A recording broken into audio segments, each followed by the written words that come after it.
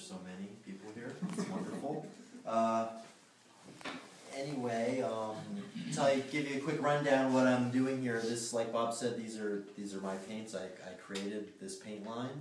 Uh, they're born out of. I'm an artist, a painter myself, and this is literally my paint. This is the paint that I've been making for myself in my studio, and I have a lot of, you know, of the 60 colors, 20 of these colors are completely unique to my line, and some of them are still pretty rare beyond that.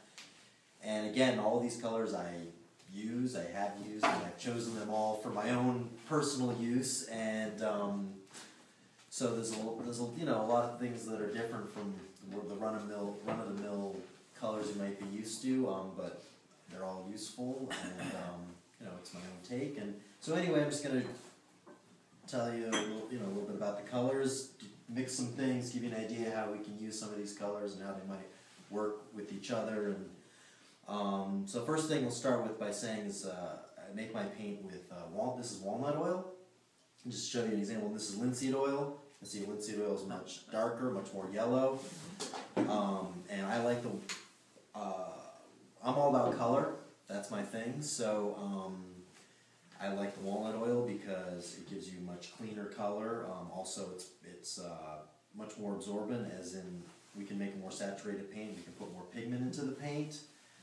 Um, so uh, you know, especially in the transparent colors, you know, we're not going to have our color dirtied up with this, you know, darker, more yellow oil. Um, and so those are some of the advantages. I also like the walnut oil because it has a little different handling property.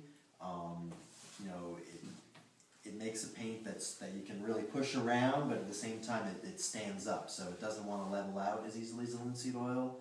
It's going to hold the stroke. So especially if you like to paint, you know, really sort of more expressionist and you want to show your brush strokes and everything, everything, every little, you know, little hair and thing will stand out and it will show. So um, you know, if you want really slick, smooth surface, then you can modify it. You can add linseed oil or stand oil to your paint, and you can make it do whatever you want. Um, some of the you know things that I like about the walnut oil. Um, and um, so I'll just begin by start squeezing some colors out, and um, I'll show you some things.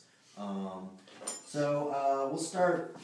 I'll start here. This color here. This is um, genuine vermilion, which is mercuric sulfide, and it's, you know, it's a classic, you know, old master color. Um, it's still today the bright one of you know the brightest red really you can get. Um, it's very opaque, a lot of tinting strength. Um, you can see it's just, you know, it's, it's we also have it over here. You can see, but we'll um, sort of put things together just to give you an idea of how you could possibly use it, but of course, the sky's the limit. There's no, there's no rules. Oh, but actually, there's some limits with this color, right? Not really, no. With the genuine vermilion, No. with the sulfur. Who, who's this guy? Heckler. um, uh, we'll get we'll get to that. Okay, let's let's just. No, that's for the